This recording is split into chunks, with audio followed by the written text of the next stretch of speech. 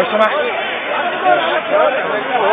يا أستاذ من غير ما أقول اسمك هو ولا جاي الشرطه أنا عايز أعرف أنتوا بقالكم كام يوم واقفين هنا؟ بقالنا أكتر من 11 يوم. الجيش جه إمتى؟ الجيش جه جه ما عملش حاجة كان مرة الجيش جه دلوقتي إمتى؟ جه دلوقتي دلوقتي. ليه؟ جه ليه بقى؟ لما إحنا وقفنا في أسمع الشارع.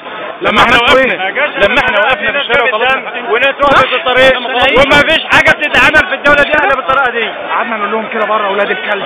قال لك بيبوظوا البلد. لازم شوية شمحطيه متاجرين شوية دول تبعهم عساكر الداخليه بدل ما يدونا حقنا ضربونا. النهارده في قلب المظاهره يعني ما قال لهم راجبون لا. لما قلت لهم كده قال. لك دول مقطعين اهو متعود عم من إيه. ده من من من العصيان العصيان مين بقى اللي كان بيتفرج وانتوا بتضربوا بالعصيان؟